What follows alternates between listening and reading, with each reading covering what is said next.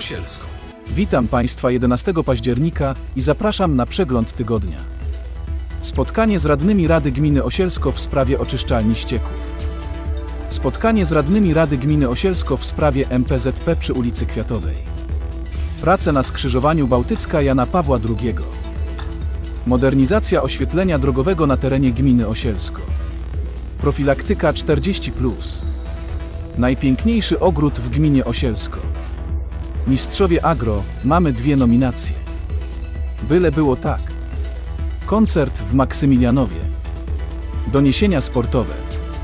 Pogoda na tydzień. Gmina Osielsko. 5 października na platformie Teams radni Rady Gminy Osielsko spotkali się z mieszkańcami w sprawie oczyszczalni ścieków.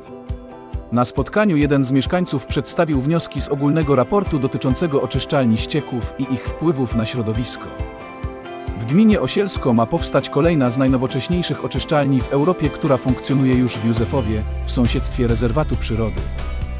Badania środowiskowe są w niej robione cyklicznie i regularnie. Zachęcamy zainteresowanych do sięgnięcia po te szczegółowe informacje dotyczące konkretnego rozwiązania. Na spotkaniu mieszkańcy zapewniali radnych, że nie są przeciwni powstaniu oczyszczalni i hamowaniu rozwoju w gminie, a jedynie mają wątpliwości co do położenia oczyszczalni. Jednym z satysfakcjonujących rozwiązań byłoby zdaniem mieszkańców powołanie niezależnej firmy, która przeprowadziłaby audyt i wytypowała najkorzystniejszą lokalizację na powstanie oczyszczalni. Część radnych nadal uważa, że najkorzystniejszym rozwiązaniem jest dogadanie się z Bydgoszczą pomimo bardzo niekorzystnej umowy przedstawionej gminie, na którą w tej formie jednogłośnie radni się nie zgadzają. Przygotowaliśmy dla Państwa obszerną relację z wyjazdu do Józefowa, znajdziecie ją na osielsko.pl, link umieszczamy pod przeglądem. Zachęcamy do obejrzenia relacji. Materiał rozwieje niektóre wątpliwości i da odpowiedzi na zadawane przez mieszkańców pytania. Najbliższa sesja Rady Gminy już 19 października. Gmina Osielsko. 6 października na platformie Teams Radni Rady Gminy Osielsko spotkali się z mieszkańcami w sprawie miejscowych planów zagospodarowania przestrzennego przy ulicy Kwiatowej. Na spotkaniu urbanista przedstawił wstępne plany zagospodarowania terenu i uzasadnił zastosowane w nim rozwiązania dotyczące między innymi ulic. Radni wyrazili swoje niezadowolenie z powodu nieuwzględnienia w tym prototypie propozycji, o które wnioskowali na poprzednim spotkaniu. Swoją dezaprobatę wyrazili również mieszkańcy sąsiadujących posesji. Po raz kolejny przedstawiciele firmy posiadającej teren przedstawili zgodność swojego projektu z wcześniej ustalonym studium zabudowy na terenie gminy Osielsko. Wyjaśniali mieszkańcom, że tak zwane blokowiska nie mają nic wspólnego z ich zabudową wielorodzinną. Radni w najbliższym możliwym czasie zasiądą do spotkania z urbanistą i Januszem Gorzyckim, który odpowiada za MPZP w gminie Osielsko. Na spotkaniu tym mieliśmy rekordową frekwencję, z powodu ograniczonego czasu nie każdy mógł się wypowiedzieć. Przewodniczący spotkania Janusz Jedliński zapewnił mieszkańców, że widzi konieczność takich społecznych konsultacji i zapewnił, że ta była pierwszą, ale nie ostatnią. Najbliższa sesja Rady Gminy już 19 października. Gmina Osielsko. Przypominamy, że w związku z budową ulicy Jana Pawła II od dnia 5 października zostało zamknięte dla ruchu skrzyżowanie ulic Bałtyckiej z Jana Pawła II w Osielsku. Dojazd do obiektów zlokalizowanych przy ulicy Bałtyckiej jest możliwy za pomocą nowo wybudowanego skrzyżowania Szosa Gdańska Aleje Mickiewicza. Przewidywane otwarcie ruchu na skrzyżowaniu 23 października. Schemat zamknięcia znajdziecie na stronie osielsko.pl. Gmina Osielsko. Przedmiotem projektu jest modernizacja systemu oświetlenia ulicznego na terenie gminy Osielsko poprzez przebudowę istniejących punktów świetlnych. Celem projektu jest poprawienie efektywności energetycznej systemu oświetleniowego poprzez zastosowanie bardziej energooszczędnych opraw oświetleniowych oraz zastosowanie systemu sterowania z możliwością zredukowania mocy opraw w okresie cyklu, w którym nie jest wymagany maksymalny strumień świetlny. Celem modernizacji jest również dostosowanie parametrów oświetlenia ulicznego do obowiązujących przepisów prawnych. Efektem będzie modernizacja 293 punktów świetlnych, dzięki której nastąpi obniżenie emisji CO2. Wzrośnie efektywność energetyczna poprzez zastosowanie nowoczesnych i bardziej energooszczędnych opraw typu LED.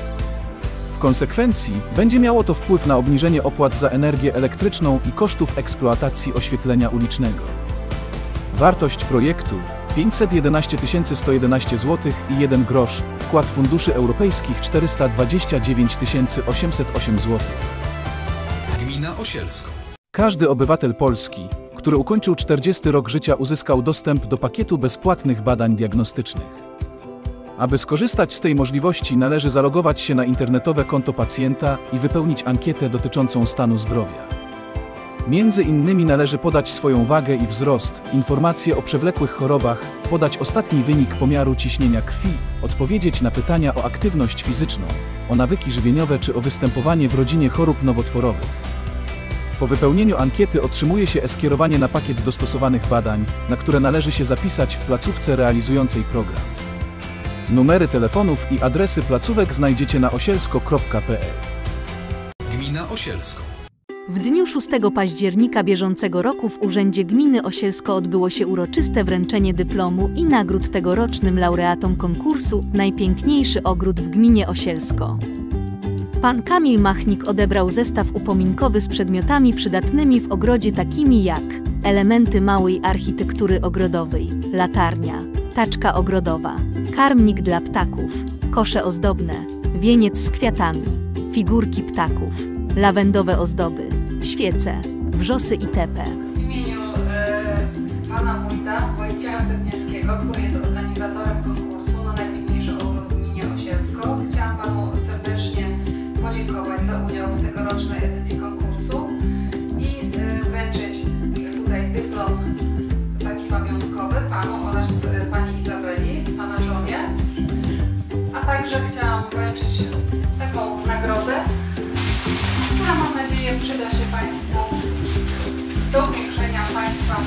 tak pięknego ogrodu. Dziękuję za,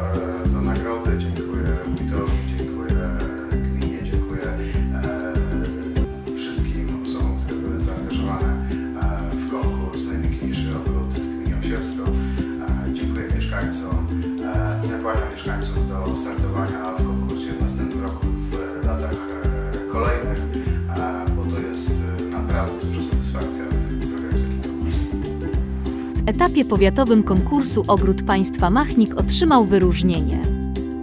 Tegorocznym laureatom konkursu na najpiękniejszy ogród w gminie Osielsko dziękujemy za udział. A kolejnych właścicieli przydomowych ogródków zachęcamy do wzięcia udziału w przyszłorocznej edycji konkursu. Gmina Osielsko. Mam przyjemność poinformować, że przedstawiciele gminy Osielsko zostali nominowani do tytułu Koło Gospodyń Wiejskich Roku w tegorocznej edycji akcji Mistrzowie Agro, największego plebiscytu wiejskiego i rolniczego w Polsce, który w naszym województwie jest prowadzony przez Gazetę Pomorską, Ekspres Bydgoski i Nowości, Dziennik Toruński oraz ogólnopolski serwis i magazyn Strefa Agro. Nominacje do nagród uzyskały koła gospodyń wiejskich KGW w Maksymilianowie, KGW w Żołędowie. Kandydatów do nagród nominowali partnerzy i patroni akcji, organizacje rolnicze i wiejskie, dziennikarze oraz mieszkańcy naszego regionu. Główne nagrody w plebiscycie zostaną wręczone podczas uroczystej gali w trakcie centralnych targów rolniczych które odbędą się w dniach 26-28 listopada bieżącego roku nominowanym gratulujemy. Gmina Osielsko. Świetlica w Maksymilianowie zaprasza na kolejne wydarzenie z okazji dziesięciolecia świetlicy. Tym razem na scenie zabrzmią największe przeboje zmarłego niedawno artysty Krzysztofa Krawczyka. Połączone siły dwóch zespołów przypomną nam twórczość tego wspaniałego muzyka.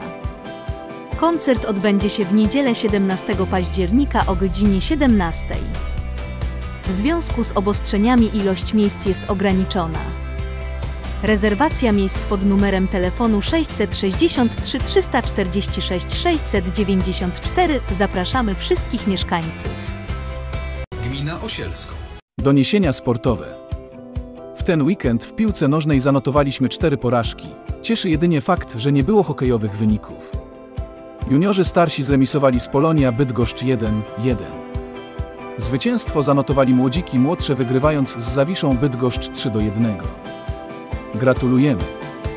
Tymczasem kibice Wiktorii Niemcz Osielsko muszą uzbroić się w cierpliwość i przeczekać tę lawinę porażek. Jeszcze będzie przepięknie, jeszcze będzie wspaniale, tego życzymy sobie i naszym piłkarzom. W Łodzi odbyły się szkolne igrzyska zapaśnicze Master. Udział w zawodach brali zawodnicy Wiktorii Osielsko, którzy wrócili z sześcioma medalami oraz z trzema piątymi miejscami. Na najwyższym stopniu podium stanęli Ksenia Stemska, Olaf Stemski, Szymon Augustyński. Brązowe medale zdobyli Oliwia Bursztyńska, Marcel Melwiński, Oskar Bursztyński. Piąte miejsca Julek Melwiński, Marek Engelgard, Jakub Jankowiak. Gratulacje dla zawodników i trenerów. Indywidualne Mistrzostwa Polski Żaków w Żołędowie zakończyły się dla klubu dwoma medalami, pięcioma miejscami w półfinałach i walce do końcowych metrów każdego zawodnika. Nie było łatwo, wystartowali wszyscy najlepsi w Polsce w swoich kategoriach. Najwyżej z Mustanga Wojciech Partykę, który był faworytem kategorii U8 i nie zawiódł. Zwyciężył z kompletem. Na trzecim miejscu w U8 Nikodem Modrakowski to nagroda za treningi i pewnie zaskoczenie dla niego, ale w pełni zasłużony sukces. Blisko podium był Oskar Praca w U10. Upadł w walce w finałowej czwórce. W półfinałach Mustang miał jeszcze Franciszka Staną i Wojtka Kiciaka. Tym razem awans do finału się nie udał, ale w przyszłym roku będą jeszcze w tych samych kategoriach wiekowych. To były świetne zawody dla Mustangów. Gratulujemy zawodnikom i trenerom. Gmina Osielsko. Jesień już się na dobre rozgościła w Osielsku. Przymrozek zaskoczył wielu kierowców, od dzisiaj drapanie szyb będzie dla wielu porannym rytuałem. Temperatura będzie się wahać od 10 do 13 stopni Celsjusza w dzień. Nadszedł czas na przejrzenie szafy w poszukiwaniu cieplejszych ubrań. Mamy jeszcze kilka ciśnieniomierzy dla mieszkańców, którzy zaszczepili się po 11 sierpnia. Zaszczep się i odbierz ciśnieniomierz w Urzędzie Gminy Osielsko. Nie zapomnijcie o subskrybowaniu naszego kanału. Trzymajcie się zdrowo i do zobaczenia za tydzień.